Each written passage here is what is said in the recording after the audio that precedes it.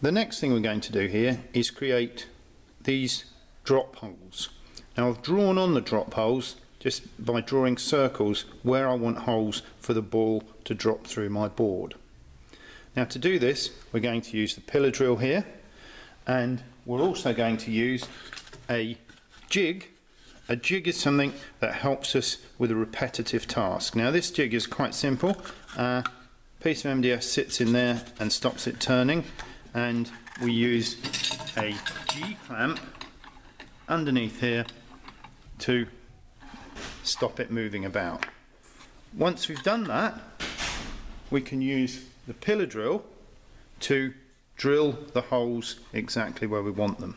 So I've lined this up, I'm just bringing this down, making sure that it's in the right position for me to drill the hole. Then I'm going to put on some goggles and drill the hole.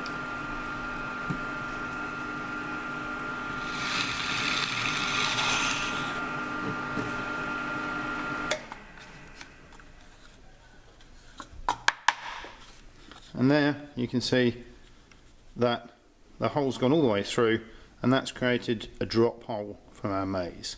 Just by moving about our jig, moving the table on the drill, we can position it to all the positions and also by turning a piece of MDF in our jig to make sure that we get all the holes drilled.